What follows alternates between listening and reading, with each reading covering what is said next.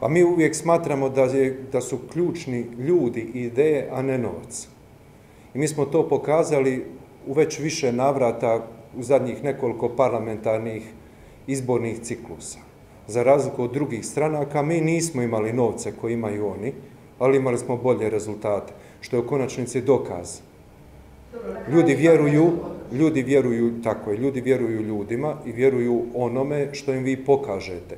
Mislim da smo mi u četiri godine pokazali da smo oni koji zaista brane interese građana u Republici Hrvatskoj. Nama ne trebaju novci tajkuna, niti će to bilo koga spasiti. Ti koji imaju tajkune za sebe, ti će ovaj put propasti.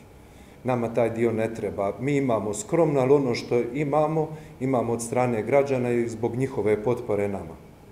Znači samo od strane građana, nećete vi za kredite i nekakve... Pa ne, mi ćemo podignuti kredit, ali to će biti manji iznos.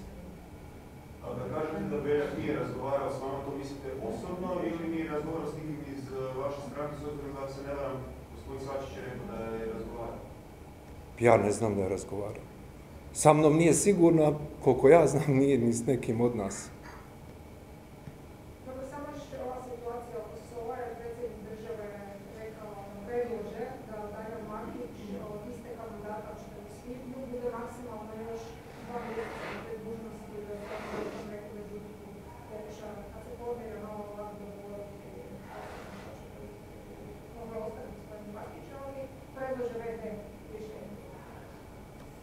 Što se tiče bilo SOE, bilo USKOK-a, DORH-a i svih drugih institucija, smatram da u trenutku kada se mijenja vlast i kada im ističu mandati, da je potpuno normalno razgovarati, mijenjati po potrebi, ovisno o tome kakav, kako je tko pokazao rezultate.